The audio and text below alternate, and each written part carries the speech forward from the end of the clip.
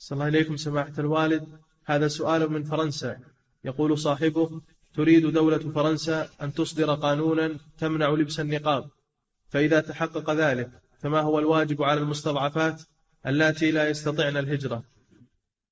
هذا من آفات الإقامة في بلاد الكفر أنهم يفرضون عليك أنظمتهم وكفرهم ونظامهم.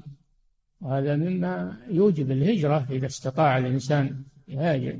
وعليها أن تتقي الله وأن تلزم الحجاب والنقاب ولا تخضع لأحكام الكفار مهما أمكن هذا.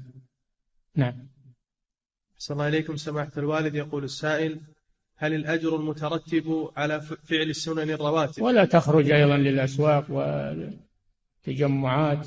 تبعد عن هذه الأمور التي تفرض عليها هذه خلع الحجاب. تبتعد عنها ما استطاعت. نعم.